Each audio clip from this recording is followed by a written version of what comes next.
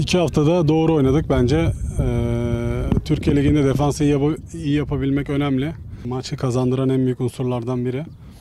Ee, iki hafta iyi mücadele ettik ve e, güzel galibiyetler aldık.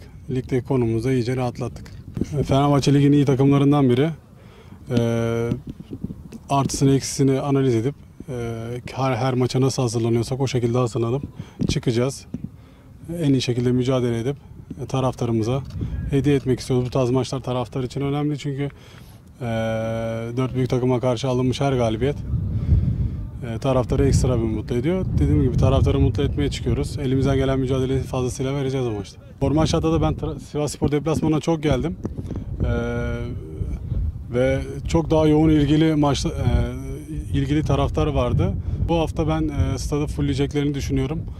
E, bundan sonraki maçlarda da keyif almak için stadı doldurup bize de daha fazla keyif vermek için e, stada gelmelerini rica ediyoruz. Yani. Rekabet zaten futbol takımları e, sana burada antrenman yapmak için para veriyorlar. E, maçta oynayıp oynamamak hocanın takdirine kalıyor. Tabii ki rekabet ortamı her zaman vardı. Geldiğimde de vardı. Şu anda da var.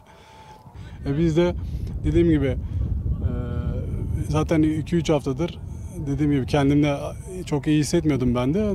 Doğru bir şekilde e, oturdum kulübeye. Şimdi onu tekrardan formaya almak için çalışacağız. Çalışıyorum da.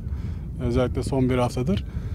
Ee, sağlığım iyi Allah'a şükür şu an çok daha iyi hissediyorum. Ee, dediğim gibi bu hafta e, süre alırsam işte oynarsam Fenerbahçe maçında da bunu taraftara göstereceğim zaten.